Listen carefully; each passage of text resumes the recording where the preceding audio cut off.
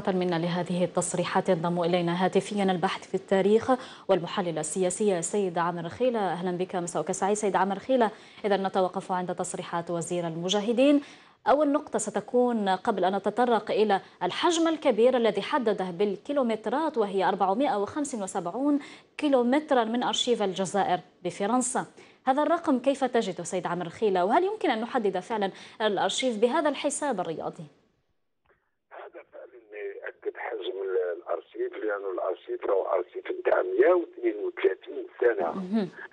132 سنة كفيله بأن يكون هناك أرشيف سواء الأرشيف العسكري أو الأرشيف الاجتماعي أو الثقافي أو السياسي وكل مناحي الحياة التي وحتى من الناحية الاقتصادية لأنه كاين مخططات كثيرة حول المدن الجزائرية حول جوانب عديدة من الحياة. ولذلك أنا لا أعجب لما اسمع بأنه مساحة أو طول وثائق الارشيفيه الموجودة عند فرنسا ما عبر عنه فرنسيا ونقله السيد وزير المجاهدين 475 كيلومتر. كما يمكن أن يكون 500 كيلومتر كما يمكن. ولذلك هذا إعطاء هذه المسافة أو هذا الرقم ياكد حجم الارشيف ومستوى تواجده لدى مختلف الدوائر الفرنسيه عندما نتحدث دائما عن ملف الأرشيف والتاريخ المشترك والذاكرة كذلك لماذا حتى الآن لم تنجح الجزائر في استرجاع إحنا نتحدث عن 64 سنة بعد اندلاع ثورة التحرير في استرجاع جانب يعني سيفيدها أكيد من دائما لما نتكلم عن الأرشيف نكون استرجعنا العلاقات الجزائريه الفرنسيه ونطالب بالأرشيف الموجود. لدى فرنسا لا ننسى بأن ذاكرة الأرشيف الجزائري هي موزعة عبر العديد من من الدول.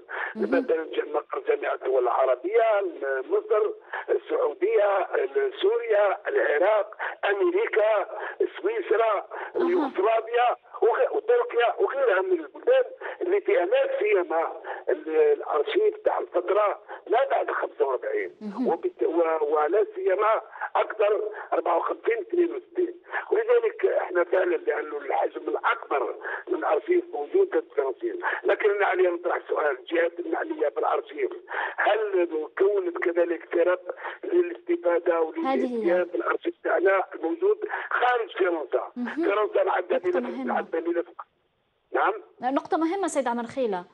قدم فرنسا فعلا عندنا الارشيف الرئيس والارشيف الأساسي سواء اللي يتعلق بالفترة نتاع 1830 1930 أو ما قبل 1830 لماذا لأن فرنسا استولت على الارشيف الجزائري تاريخ الجزائر. يلا دعينا نقولوا بأن استولت على تاريخ الجزائر منذ التاريخ اللي عبر قرون عديدة وليس الفترة العثمانية فقط.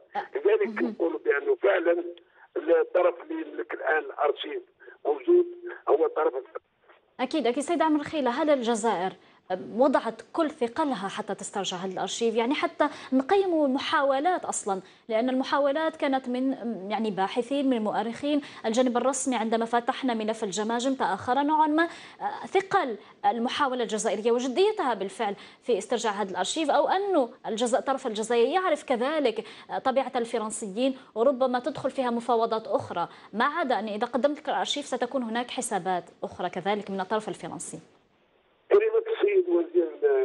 وزير المجاهدين كانت واضحة بالقول أنه حان الوقت أو هذا هو الوقت اللي تحكمنا فيه في الملفات المتعلقة بالأرشيف. هو يقول صراحة بأنه في السابق كنا نتكلم عن الأرشيف لكن دون ضبط كنا نتكلم عن الملفات المشتركه اللي في الجانب التاريخي المتعلقه بالذاكره التاريخيه المشتركه مع فرنسا لكن لم نضبط امورنا والان يقول بان الجماجم تمكنا من حصرات 31 الأرشيف. هو الرقم الذي أعطي لنا لحجم الأرشيف.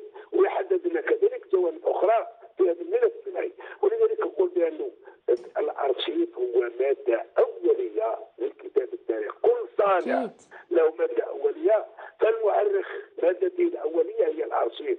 والارشيف